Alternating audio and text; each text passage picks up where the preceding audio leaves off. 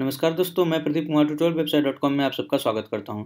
दोस्तों, previous video में हमने देखा था कि कैसे हम रिएक्ट जेस में लॉगआउट फ़ंक्शन इंप्लीमेंट करते हैं और इंप्लीमेंट करके देखा था हमने। आई होप अपने वीडियो देखा होगा तो आपको सारा कुछ समझ में आ गया होगा। जिन्होंने वीडियो नहीं देखा है, वो इस वीडियो को देख सकते हैं, हमारे चैनल पर जाकर वीडियो सेक्शन में इस वीडियो को देख सकते हैं यूज़र लॉगआउट का। तो यहाँ से आपको लॉगआउट फंक्शनलिटी कैसे हम इम्प्लीमेंट करना है, आपको अपने प्रोजेक्ट में जो मर्न पे रिलेटेड है उसमें आपको अच्छे से समझ में आएगा। आज के वीडियो में बात करेंगे एक इंपॉर्टेंट पॉइंट जो कि अगर आपने अभी तक नोटिस नहीं किया होगा तो आपको मैं बता देता हूँ। बेसिकली यहाँ पे आप देख रहे हैं, हमारा जो मिनी प्रोजेक्ट है, इसमें हम अभी भी लॉगिन हैं बट हमारा टोकन एक्सपायर हो चुका है, जिसकी वजह से आप देख रहे हो यहाँ पे डाटा हमें नहीं मिल रहा है। रीज़न इसका यही है, अगर इंस्पेक्ट एलिमेंट में जाएँगे आप और यहाँ कंसोल पे देखेंगे तो यहाँ पे आप देखेंगे सर्वर रिस्पॉन्ड अनऑथोराइज आ रहा है। मीन्स कि हमारा जो भी सर्वर है वो वर्क तो कर रहा है बट टोकन एक्सपायर है तो हमारा कोई भी डाटा बेस से डाटा नहीं आएगा। आपको पता है? क्योंकि हमने हर एक एपीआई पे हमने वहाँ पे लगाया है कंडीशन कि टोकन एक्सपायर होगा तो डाटा नहीं मिलेगा। बट अकॉर्डिंग टू प्रोजेक्ट अगर टोकन एक्सपायर हुआ तो हमें क्या है? रीडायरेक्ट हो जाना चाहिए लॉगिन पेज पे, यानी कि ऑटोमेटिक ये लॉग आउट हो जाना चाहिए था। अगर फंक्शनलिटी की बिहार पे बात करें तो ठीक है? बट यहाँ पे क्या देख रहे हैं? यहाँ पे ऐसा नहीं हो रहा है। इसका रीज़न बस यही है कि हमने कहीं कंडीशन चेक ही नहीं किया है कि वेरीफाई किया ही नहीं टोकन को। ठीक है? अगर आप अभी जाएँगे, अगर मैं आपको ऐप डॉट जी फ़ाइल दिखाऊँ तो यहाँ भी हमने क्या चेक किया है? सेट ऑथेंटिकेशन चेक किया है। सीधे क्या चेक किया कि अगर टोकन की वैल्यू मिलती है तो उसको सेट कर दे टोकन में, और अगर मिलती है तो साथ ही साथ आप क्या करें? डिस्पैच करें सेट करंट यूज़र को। ट्रू कर दे। तो ट्रू है हमारा, इस वजह से हम यहाँ पे लॉगिन हो पा रहे हैं। मतलब लॉगिन कंडीशन में है। बट टोकन एक्सपायर है। तो यहाँ पे डाटा नहीं है। तो इसे भी हमें रिजॉल्व करना है। तो चलिए इसके लिए देखते हैं क्या स्टेप हमें करना होगा। तो इसके लिए जो बेसिक स्टेप है, वो मैं बताने जा रहा हूँ। तो बताने से पहले बता दूँ चैनल को सब्सक्राइब नहीं किया है तो काइंडली सब्सक्राइब कर ले। सब्सक्राइब करने के बाद बेलाइकन पर क्लिक करना ना भूलें, ताकि लेटेस्ट अपडेट आपको मिलते रहें। साथ ही साथ आप हमारे फेसबुक पेज पर जाके पेज को लाइक और फॉलो करें लेटेस्ट अपडेट पाने के लिए। अब बात करते हैं कि इसको रिमूव कैसे करेंगे। तो सबसे पहले आपको इसमें एक चीज़ का ध्यान रखना है। अगर टोकन हमारा एक्सपायर है तो हमें यहाँ पे चेक करवाना है टोकन को वेरीफाई करना है बेसिकली टोकन को वेरीफाई करके हम यहाँ पे कंडीशन लगा सकते हैं कि अगर टोकन एक्सपायर हो गया वेरीफाई कंडीशन में तो ये री क्या करेगा? सीधे लॉगआउट वाला फंक्शनलिटी ऐड करेगा, यानी कि जो हमने लॉगआउट की फंक्शनलिटी अभी यहाँ पे हेडर में डिफाइन किया था एक्शन हेडर में, यहाँ पे आप देख लो, इसके अंदर जो लॉगआउट की फंक्शनलिटी बनाई थी और यूज़र के एक्शन के अंदर जाते हैं यहाँ पे, हमने इम्प्लीमेंट किया। सिंपली हमें क्या करना है, अगर टोकन एक्सपायर है तो हमें लॉगआउट वाले फ़ंक्शन को कॉल करा देना है। सिंपल इतना सा काम करना है। तो टोकन एक्सपायर का हम कैसे चेक करेंगे, उसके लिए मैं आपको ले चलता हूँ। यहाँ पे टाइप करते हैं जे डब्ल्यू टी वेरीफाई अगर यहाँ पे आप टाइप करेंगे सिंपली तो यहाँ पे आपको उसका कोड मिलेगा, जो कि ये हमारा एन पी एम जैसे। इसी में आप जाइए, नीचे जाएँगे स्क्रॉल करेंगे, काफ़ी नीचे तो आपको टोकन एक्सपायर का यहाँ पे आपको देखेगा। नीचे आएँगे हम, और नीचे नीचे। तो ये देखिए, यहाँ पे एक तो डिकोड करने का जो कि हमने इम्प्लीमेंट कर लिया है, ये देखिए वेरीफाई का कोड है।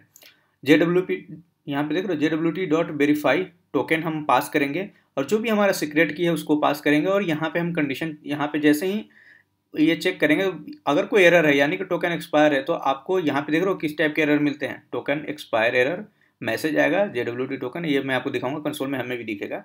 और ये डिकोड में आपका वैल्यू आती है, ठीक है? तो सिंपली हमें क्या करना है कि हमें जाना है अपने कोड पे यहाँ पे, और यहाँ पे लिखना है J W T dot verify ठीक है? वेरीफाई के अंदर सबसे पहले हमें टोकन पास करना है, ठीक है? ये याद रखना है। तो टोकन हमने, ये लोकल स्टोरेज जेसन टोकन में हमें आ रहा है वैल्यू कॉपी करते हैं हम इसको। और इसको यहाँ पास करते हैं तो टोकन मिल गया। उसके बाद हमारा दूसरा पैरामीटर होता है यहाँ पे सीक्रेट की जो भी हमारा सीक्रेट की है तो हमारा है A C C R E T हमने सीक्रेट को ही यहाँ पे ऐसे लिखा था एज की बनाया था। उसके बाद आता है फ़ंक्शन फ़ंक्शन के अंदर दो पैरामीटर होते हैं, एक तो होता है एरर और एक होता है, अगर एरर नहीं है तो डिकोड करके आपकी वैल्यू मिल जाती है क्लियर दो पॉइंट होते हैं। ठीक है, अब यहाँ पे आया और यहाँ पे हमने क्लोज किया। अब यहाँ पे कंडीशन चेक कराएँगे। इफ़ अगर इस कंडीशन में हम क्या चेक करा रहे हैं कि अगर कोई एरर आ रहा है ठीक है, जैसे कि ऊपर में अभी हमने आपको दिखाया था ना कोड में यहाँ पे यहाँ पे, कि कंडीशन चेक करेंगे एरर आ रहा है तो एरर में टोकन एक्सपायर का हो तो इस तरीके का ये सेम वैल्यू आपको वहाँ पे मिलेगा। तो चलिए, यहाँ पे चेक कराते हैं और सबसे पहले हम क्या करते हैं कंसोल में इसको प्रिंट करा के आपको दिखाते हैं एरर को। तो कंसोल डॉट लॉग और इसके अंदर हम सबसे पहले लिखते हैं एरर सेव करते हैं पेज को, चलते हैं पेज पे हम, जो हमारा कोड है, और यहाँ पे हम कंसोल करा लेते हैं। इसको देखते हैं कंसोल में क्या वैल्यू आपको मिल रही है। तो यहाँ देखिए टोकन एक्सपायर एरर इसको मैं एक बार रिफ्रेश करता हूँ तो आपको सिर्फ़ वही मिलेगा। तो ये देखिए, यहाँ पे आपको मिला टोकन एक्सपायर एरर जैसे कि आपको वहाँ पे मैंने दिखाया था, यहाँ पे भी क्या मिल रहा था हमें, इसमें जाएँगे तो यहाँ पे मिल रहा था टोकन एक्सपायर एरर, ये क्या था? नेम था। मैसेज में क्या था? जे डब्ल्यू टी एक्सपायर और एक्सपायर एट टाइम था, ठीक है? तो यहाँ पे भी आप देख रहे हो, मैसेज में क्या मिल रहा है? जे डब्ल्यू टी एक्सपायर मिल रहा है, नेम में क्या मिल रहा है? टोकन एक्सपायर एरर मिल रहा है। ये दोनों चीज़ें हमें यहाँ पे मिल रही है, जो कि हमें चाहिए था, और एक्सपायर यहाँ तक एक्सपायर एट टाइम भी यहाँ पे मिल रहा है, कब एक्सपायर, ठीक है? तो ये सारी चीज़ें हमें मिल रही है, जो कि यहाँ पे बताया था। तो अब यहाँ पे मतलब कंडीशन हमारा सही है, हम सही तरीके से जा रहे हैं। अब यहाँ पे अगर एरर आ रहा है या टोकन एक्सपायर है तो इस कंडीशन में क्या होना चाहिए? जो हमारा लॉगआउट का हमने बनाया था यूज़र एक्शन आपको याद होगा, ये एक्शन वहाँ पे कॉल हो जाना चाहिए, ताकि अगर टोकन एक्सपायर है तो ऑटोमेटिक यूज़र लॉग आउट हो जाए। सिंपल तो यहाँ पे अगर कॉल कराना है इस लॉगआउट को तो सबसे पहले हमें क्या करना होगा? रिडक्स के अंदर जो इंडेक्स फ़ाइल है यहाँ पे यहाँ पे सबसे पहले हमें लॉगआउट फ़ंक्शन को इम्पोर्ट करना होगा। तो लॉगआउट को यहाँ पे इम्पोर्ट किया सेव करते हैं। जब यहाँ पे इम्पोर्ट हो गया तो सिंपली अब ऐप डॉट जेएस फ़ाइल में चलते हैं। और यहाँ जैसे सेट करंट यूज़र इंपोर्ट किया था, उसी तरीके से यहाँ पे हम लॉगआउट को इम्पोर्ट कर लेते हैं अपने। सेव किया। अब ये लॉगआउट यहाँ पे इंपोर्ट हो गया। अब इसे यहाँ पे कॉल करना है। तो कॉल करने का तरीका स्टोर डॉट डिस्पैच इसी तरीके से कॉल करते हैं डिस्पैच फ़ंक्शन अब इसके अंदर हम कॉल कराएँगे लॉगआउट फ़ंक्शन सिंपली इस तरीके से। तो अब क्या होगा? यहाँ पे लॉगआउट फ़ंक्शन कॉल होगा। जैसे ही हम इसको अभी सेव कर देंगे तो अभी देखिए अभी हम क्या है? इस पेज पे हैं।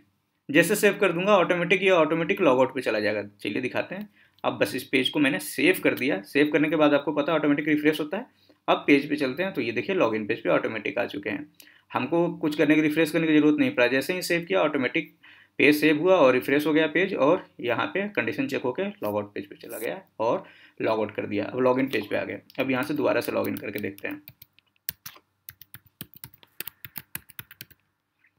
लॉगिन किया। ये देखिए प्रॉपरली अब हमारा वर्क कर रहा है सही तरीके से। सब कुछ सही कर रहा है। रिफ्रेश करते हैं। देखिए रिफ्रेश किया। चल रहा है, कोई दिक्कत नहीं है। लॉग आउट करेंगे तो यूज़र लॉग आउट भी होगा प्रॉपरली ये देखिए। और अगर मैं फिर से लॉगिन करूँ, और मैं आपको ले चलता हूँ।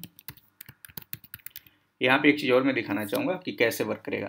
अब यहाँ पे देखिए एप्लीकेशन में आपको याद होगा कि यहाँ पे स्टोरेज में हमारा टोकन यहाँ पे नया जो जनरेट हुआ सेव हो गया है। अब आपको वेरीफाई जो अभी हमने कंडीशन लगाया, वो प्रॉपरली वर्क कर रहा है या नहीं कर रहा है, ये कैसे पता चलेगा? क्योंकि अब तो टोकन नया जनरेट हो गया, अब एक्सपायर टोकन तो है नहीं कि चेक कर पाओगे। तो उसके लिए आपको याद है, ये पोस्टमैन हमारा जो है, इसके अंदर हमारा एक जो पहले हमने बनाया था ना पोस्टमैन में तो ये एक टोकन हमारे पास जो है एक्सपायर टोकन पड़ा हुआ है। तो इसको कॉपी कर लेते हैं सिंपली कोड पे चलते हैं और इस टोकन की जगह उसको रिप्लेस कर देते हैं तो ऑटोमेटिक आपको वेरीफाई हो जाएगा। तो इस कॉपी किया और इसको पेस्ट कर दिया, ठीक है? पेस्ट करके सेव करते हैं। ठीक है सेव किया। अब पेज खाली रिफ्रेश करना है। अभी तक रिफ्रेश करने पर नहीं जा रहा था लॉगआउट नहीं हो रहा था। रिफ्रेश करते ही अब लॉगआउट हो जाएगा, देखिएगा। ये देखिए लॉगआउट हो गया। मीन्स कि हमारा जो हमने ये जो कंडीशन लगाया है कि अगर टोकन एक्सपायर है तो ऑटोमेटिक लॉग आउट हो जाना चाहिए। ठीक है, ये वर्क कर रहा है। अभी तो इफ़ कंडीशन में है एरर है तो अगर एरर नहीं है तो हमें डाटा मिल रहा है। तो ये जो कंडीशन हमने यहाँ पे लगाया था, ये वाला इसको यहाँ से कट करते हैं और ये एल्स कंडीशन में डालते हैं। और यहाँ पे ये जो पूरा हमने J W T D code का ये पूरा लिखा था, इसको अब लिखने की ज़रूरत नहीं है पूरा। सिंपली ये जो डी कोड की वैल्यू यहाँ से आ रही है, वो यहाँ पे सिंपली हमें पास करना है। सेव करेंगे। तो अब चलते हैं पेज पे। अब यहाँ पे लॉगिन करके दिखाता हूँ प्रॉपरली वर्क कर रहा है या नहीं कर रहा है। लॉगिन किए। तो लॉगिन हो गया और यहाँ पे देखिए नाम आ रहा है यूज़र नेम यूज़र नेम आ रहा है मतलब कि यहाँ से डिकोड की वैल्यू यहाँ पे करंट यूज़र में सेट हो रही है। मतलब ये जो डिकोड में है, आपकी वैल्यू डिकोड होकर आ रही है। चाहे तो इस डिकोड की वैल्यू को आप यहाँ पे कंसोल भी कर सकते हैं और चेक भी कर सकते हैं, जैसे हमने उसमें चेक किया था। अब यहाँ पे अगर कंसोल कर दें और डिकोड की वैल्यू को यहाँ पे कंसोल करें सेव करें और चलें पेज पे और कंसोल में चलते हैं। तो ये देखिए, यहाँ पे आपको डाटा मिल रहा है एक्सपायर कब होगा कब जनरेट हुआ है यूज़र नेम आईडी क्या है यूज़र नेम क्या है, ये सारी इन्फॉर्मेशन जो मिलना चाहिए था, वो सारा कुछ यहाँ पे हमें मिल रहा है। मीन्स की डिकोड के बाद हमारे सारी वैल्यू मिल रही है तो यहाँ तक सब कुछ सही है, कोई दिक्कत नहीं है। तो इस तरीके से आप क्या कर सकते हैं, अगर आपका टोकन एक्सपायर है तो आप उसको वैलिडेट कर सकते हैं वेरीफाई कर सकते हैं, और उसके बाद लॉग आउट पेज पर रीडायरेक्ट करा सकते हैं ऑटोमेटिक मतलब लॉग आउट पेज पर रीडायरेक्ट कराने का मतलब है कि डिस्पैच फ़ंक्शन में लॉग आउट फ़ंक्शन को कॉल करा के जो भी एक्शन है आपका लॉगआउट का, उसको यहाँ पे डिस्पैच कर सकते हैं, ताकि यूज़र ऑटोमेटिक लॉगआउट हो जाए एक्सपायर होने पे। तो ये हमारा बेसिक छोटा सा कॉन्सेप्ट है वेरीफाई करने का। तो ये पॉइंट हमारा रह गया था तो इस वीडियो में मैंने सोचा कवर कर दें। और मैं ये वीडियो छोटा छोटा इसलिए बना रहा हूँ एक एक पॉइंट पे बना रहा हूँ, ताकि अगर एक साथ में बना दूँ तो ज़्यादा कन्फ्यूज़न ना हो आपको। अगर मैं ये सारा कुछ एक ही वीडियो में बता देता एक्सपायर और ये वेरीफाई करने का या फिर ये टोकन सेट करने का डिस्पैच करने का लॉगआउट का तो आपको कन्फ्यूज़न हो जाता है और समझ में नहीं आता। इसलिए एक एक स्टेप को वन बाई वन में बता रहा हूँ एक एक वीडियो के थ्रू। ताकि एक एक चीज़ आपको क्लियर हो। यहाँ पे क्योंकि ये बहुत बेसिक और बहुत इंपॉर्टेंट पॉइंट्स हैं। अगर ये क्लियर नहीं होगा तो आगे आपको प्रोजेक्ट में काफ़ी प्रॉब्लम आएगी। तो ये आई होप कॉन्सेप्ट जो मैं बताना चाह रहा था वेरीफाई का भी, वो क्लियर हो गया होगा। यहाँ तक कोई डाउट नहीं होगा। आगे की वीडियो में हम क्या करेंगे?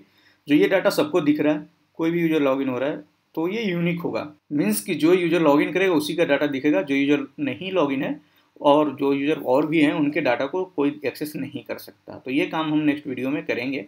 तो आज के लिए यहीं रुकते हैं। आई होप अब तक का कॉन्सेप्ट क्लियर होगा, इसमें कोई डाउट नहीं होगा डाउट है तो कमेंट कीजिए। वीडियो अच्छा लगा तो लाइक ज़रूर करें शेयर करें दोस्तों के साथ। चैनल को सब्सक्राइब नहीं किया है तो काइंडली सब्सक्राइब कर लें। और छोटा सा सपोर्ट आप हमें कर सकते हैं अगर आप करना चाहें तो। ये कोई वो कंपलसरी नहीं है। उसके लिए क्या करना है, आपको ट्यूटोरियल वेबसाइट डॉट कॉम पर जाना है। और जाने के बाद ऊपर सर्च करना है। गूगल में ट्यूटोरियल वेबसाइट सिंपली इतना।